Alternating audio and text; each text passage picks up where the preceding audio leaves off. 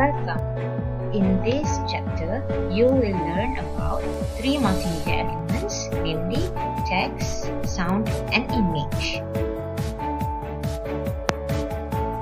There are a few factors when you want to design for the text. They are font, size, style, color, and also case. The text can be used for many purposes in multimedia.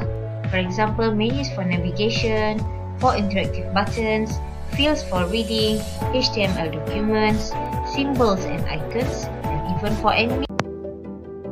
Sound adds life to a multimedia application.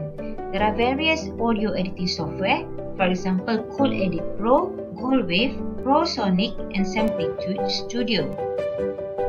Vibrations in the air creates waves of pressure that are perceived as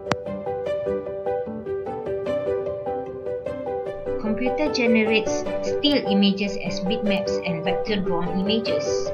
Images can be incorporated in multimedia using cliparts, bitmap software, or by capturing, editing, or scanning images.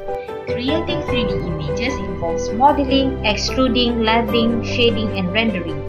Color is one of the most important components of multimedia.